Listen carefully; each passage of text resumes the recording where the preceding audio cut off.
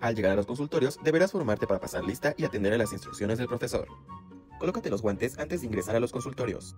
Al ingresar, deberás presentar tu credencial de alumno, con la cual se te dará un gafete para conocer tu estación. Coloca tus objetos personales en el lugar asignado. Recuerda que no podrás ingresar a tu evaluación con ningún dispositivo electrónico. Busca tu estación de acuerdo al color y número de tu gafete. Fórmate en la entrada y espera instrucciones. Cerciórate de que estés en la estación correcta.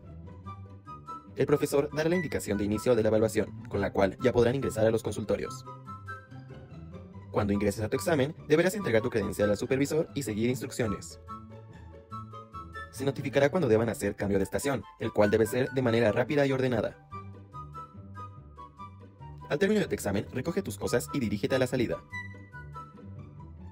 En la salida, entrega tu gafete. Y listo, ahora ya sabes el procedimiento para tu evaluación. Prepárate y sigue el protocolo.